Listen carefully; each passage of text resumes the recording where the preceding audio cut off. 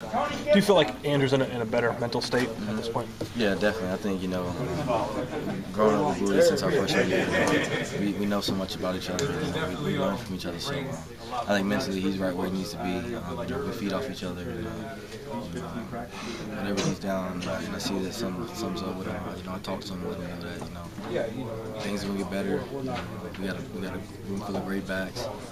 Uh, all you got to do is go out and improve yourself. And I think, you know, he did a good job today uh, you know, running, catching passes.